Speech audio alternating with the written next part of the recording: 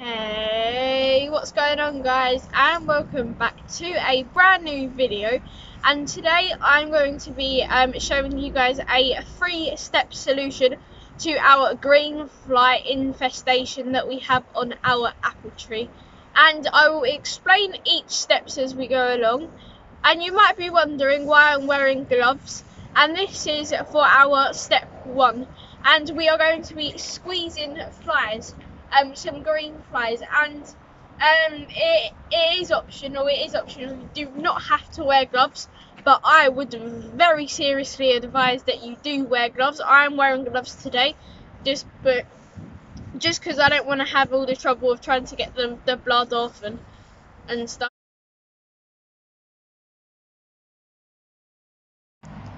So as you can see, I found a population, and they look like that. And we're just gonna find a population under a uh, under a leaf, and you can see an ant as well, which will be all handy to squash. So you guys are not gonna be able to see it now, but I'm just gonna turn the leaf over, and we are just going to start get squishing. And it isn't very pleasant, but it has to be done. You can see the, the that that that's all the blood and so we haven't quite destroyed that population so I'm going to have one more squeeze like so. Um, so I think that's maybe all the um, population on that leaf. So I'm going to find another leaf. Now I'm just going to turn over my leaves and check. So maybe we'll move on to a different section I'm just we had a little go at this before, just trying to find a few popular. Oh, okay. Um, so this is so this is like gardening's gold when you find this stuff, because it is absolutely wonderful to get rid of. Not as in gold in the good way of gold, but it's like it's just it makes gardeners feel very happy when they find things to kill.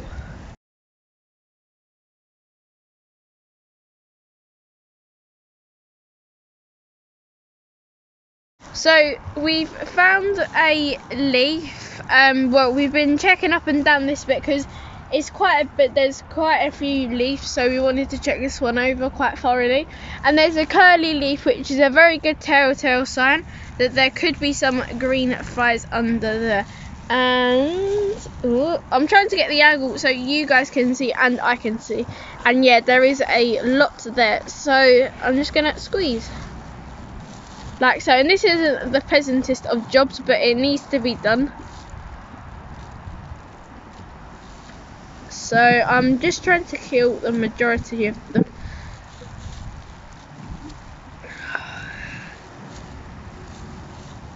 So as I said this isn't a pleasant job but it's a job that has to be done in order to get crop.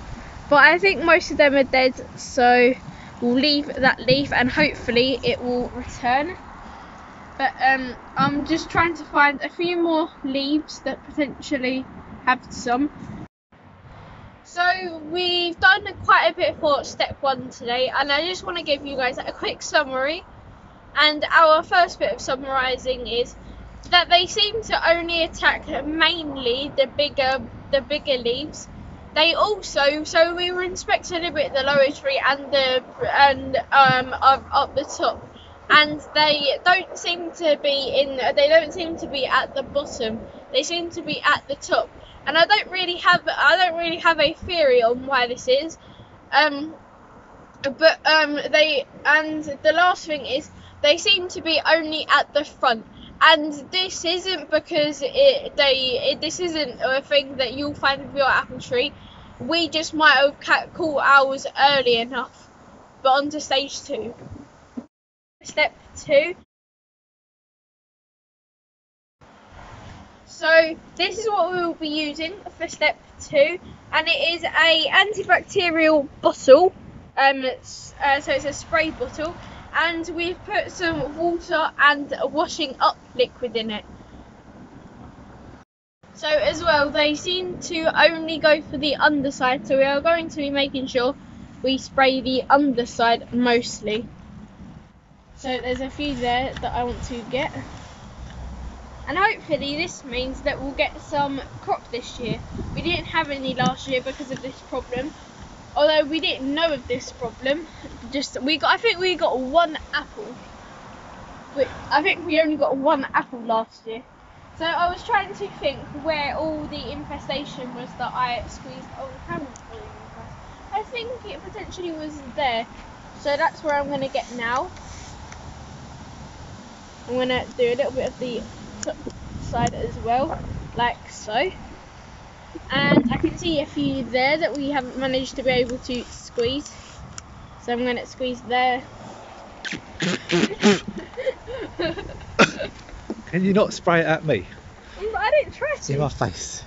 So I'm just going to squeeze a fair bit on this um, sector. And we also found a fair few here. So I'm going to spray there as well. So this is going to be quite a mammoth job, but hopefully it will all be worth it in a couple of months' time. So we've done a bit on camera for you guys. We'll do the rest off camera and just the places where we couldn't squeeze our fingers into, and then we'll move on to the final stage. Step three. And for step three, we are going to be using some Vaseline, and this isn't Vaseline. This is actually called petroleum gel. I think I pronounced that right. And I'll just open it up, and I'll show you what it guys looks like. So it just looks like that, and I'll just put the lid down. And basically, with three fingers, I am just going to scoop some Vaseline up, like so. I'm going to put this down for the moment, and just around the um, tree trunk, about this high, I'm going to be placing our Vaseline all around, like so. And so we're going to have to come back and apply this every couple days. I needed to get some more Vaseline, and this, and we're doing this because this will be, this will hopefully help. Um, the uh, this will hopefully help us. Um, the the um so the ants can't climb up, and I need a little bit more. So I'm just gonna stand out of shot very quickly. So I just quickly off camera got some more, and I'm gonna be putting this around at the back sector and this is sort of like a barrier well it is a barrier that will um, stop the ants from being able to climb out I need a bit more so I'm going to reach over. So I'll do it over here just to show you guys. So all I'm doing um, is I'm just putting my um, three fingers in and I'm scooping a massive bit out.